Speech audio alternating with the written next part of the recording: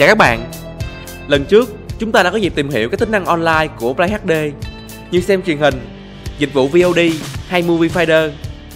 Lần này, tiếp tục tìm hiểu về đầu phát đến từng FPT, chúng ta hãy cùng nhau trải nghiệm khả năng xem phim offline của nó. Được phát triển dựa trên bộ vi xử lý Sigma Design, FPT Play HD phục vụ tốt cho các nhu cầu giải trí cơ bản hiện nay của người dùng. Ngoại trừ 3D MVC, hầu hết các định dạng phim phổ biến đều được xử lý tốt, bao gồm cả ISO Blu-ray. Bên cạnh chất lượng hình ảnh đã làm nên danh tiếng của chip Sigma Design, chiếc đầu phát này còn cho phép người dùng thưởng thức âm thanh không nén DTS tại 5.1 kênh và hỗ trợ tốt các loại phụ đề rời. FPT trang bị cho người dùng hai cổng USB để kết nối thiết bị lưu trữ bên ngoài. Điều này giúp bạn có thể chủ động được nguồn phim từ ổ cứng.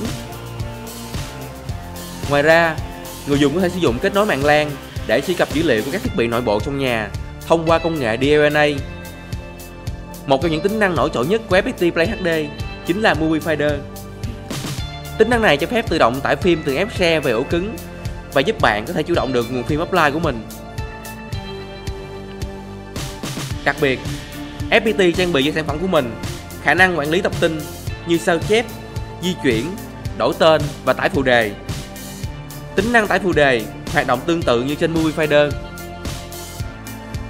Trong quá trình phát phim, FPT Play HD hoạt động khá hiệu quả, không có hiện tượng lắc hay đứng hình khi xem trong thời gian dài. Nói chung, đây là một thiết bị đa dụng. Bạn có thể dùng nó để xem phim online như một set-top box hoặc có thể sử dụng như một HD player với đầy đủ các tính năng cần thiết. Bài giới thiệu về tính năng xem phim offline trên FPT Play HD của HD Việt Nam đến đây là kết thúc.